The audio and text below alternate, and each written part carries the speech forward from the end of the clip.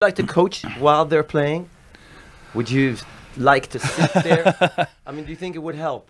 It depends who my player is. Yeah. Okay.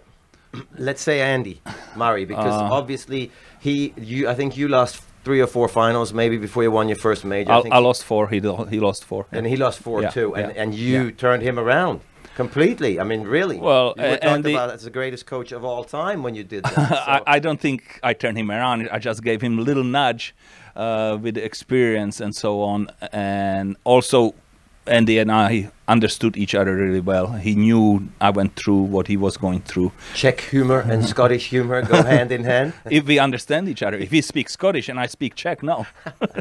but but uh, with Andy, no. Andy, uh, if I have a choice with Andy, I would not want coaching to be allowed because I feel he's one of the smartest players out there. Yeah. So it's to his advantage not to have that. Right. There are other players.